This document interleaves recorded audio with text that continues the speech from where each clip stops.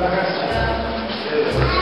I'm going to give you a very tabloid version of history now and just say that the room that I'm standing in um, 66 years ago today is where Yugoslavia started.